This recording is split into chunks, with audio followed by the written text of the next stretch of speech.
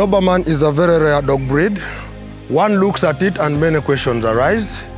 Is it as dangerous? Is it as fierce as it looks? Can it stay around family?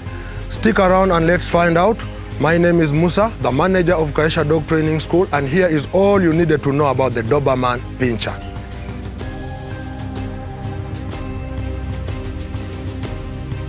Kaisha Dog Trainers, a total pet experience.